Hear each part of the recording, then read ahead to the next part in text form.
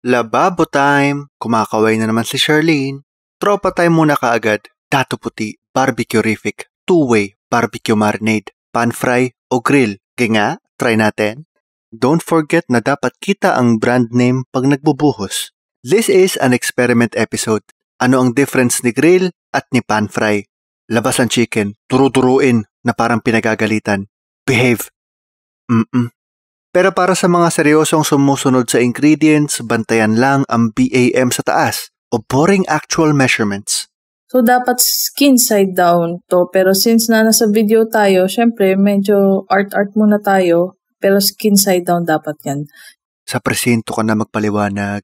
3 hours up to overnight ang pagmarinate niya. Nagbabalik si Dato Puti, barbecue-rific, two-way barbecue marinade. Dalawang paraan, ating subukan at i-grade. 1/4 cup para sa basting sauce. Meron ding oil o mantika. Ngayon darling, bili ka muna uling.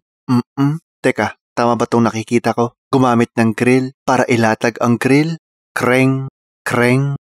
Oil sa bakal para hindi clingy. Heto na ang grill portion ng ating experiment tingi. Heto na yung manok na minarinate kanina. Imagine nyo na lang na may naghihintay sa paligid para ihawan ang eksena. And we know what to expect, Char. Inihaw na manok, char. Huwag i-overcook, char. Manok ang gusto natin kainin at hindi, char. Heto ang basting sauce na tinatawag. Anything to keep the meat moist habang chinachar, grill. So, once na luto na siya, cook through na siya, goods na yan. All good, pare. Part 2 ng ating two-way. Time to try, pan fry. Initin ang oil o mantika. Ilatag ang manok o chicken. Minarinate natin yan sa two-way marinade syempre. Pinturahan mo ulit, parang Bob Ross. Merong pros at cons ang bawat paraan. Una, syempre, mas convenient ito. Kapag kasi mag-iihaw, parang pang-outing palagi ang paghahanda. Sasakit pa biceps mo kakapaypay. Pero, kita agad natin ang disadvantage. Kanina kasya lahat. Pero advantage, hindi nagmumukhang concert na may smoke machine ang bahay. Binas brush ko na rin para mag-glaze-glaze siya ng ganyan. Binrush-brush para mag-glaze-glaze ayon kay Charlene Charlene. Pan-fry, grilled, can you tell the difference? Nalilito ang mga daliri ni Charlene. Pan-fried sa kanan, grilled sa kaliwa.